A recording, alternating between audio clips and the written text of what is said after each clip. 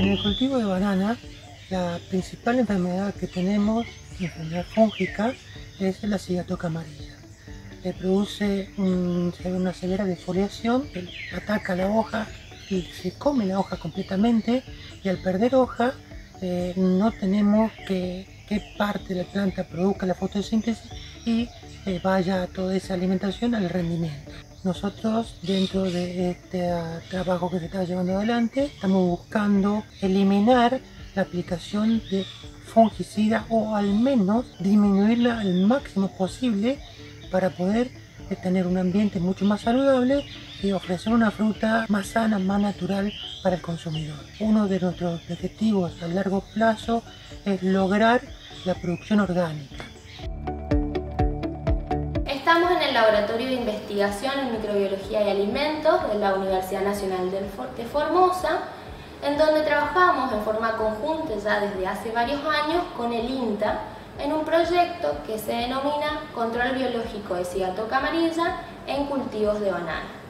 Tuvimos la posibilidad de presentarnos a una beca doctoral con ICET con este proyecto,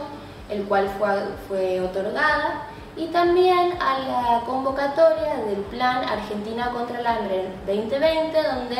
nuestro proyecto fue seleccionado. Vamos a utilizar eh, hongos y bacterias, hongos del género Tricoderma y bacterias del género Bacillus para controlar esta enfermedad que se denomina cigatoca amarilla es producida por un hongo que se denomina Mycophagela musicola. El proyecto consta de varias etapas. La primera etapa es la toma de muestra, que estuvo a cargo del personal del INTA, en donde colectaron hojas de enfermas y sanas de plantas de banana, así como suelos y raíces, y fueron eh, acondicionadas y enviadas al laboratorio. Acá en el laboratorio procesamos esas muestras de acuerdo a los objetivos que nos planteábamos, de acuerdo a los microorganismos que queríamos aislar, y es así que obtuvimos varias cepas, tanto de de hongos, de tricoderma, de bacterias de género Bacillus, como del patógeno.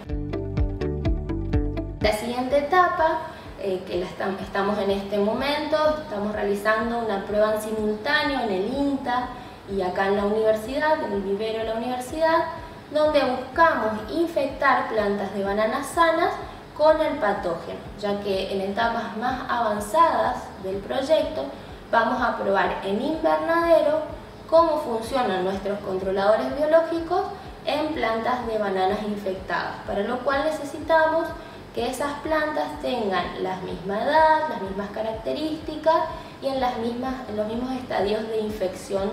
de la enfermedad. Una vez que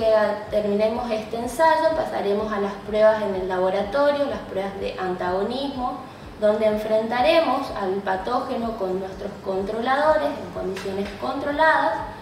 eh, para eso vamos a sembrar en distintos medios de cultivo y vamos a poner dentro de una estufa, incubar para ver cómo se desarrollan o cómo crecen estos microorganismos. De ahí vamos a tener algunos resultados y pasaremos a las etapas siguientes, que es ver, analizar cuáles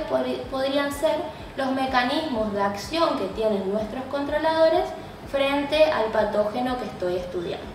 En las etapas siguientes pasamos a las pruebas en invernadero, como nombré anteriormente, y así obtener algunas cepas, algunos microorganismos que sean más aptos, que controlen mejor la enfermedad.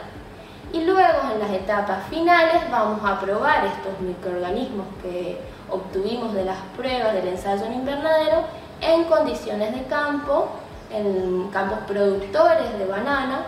en donde vamos a buscar cuál es la cepa o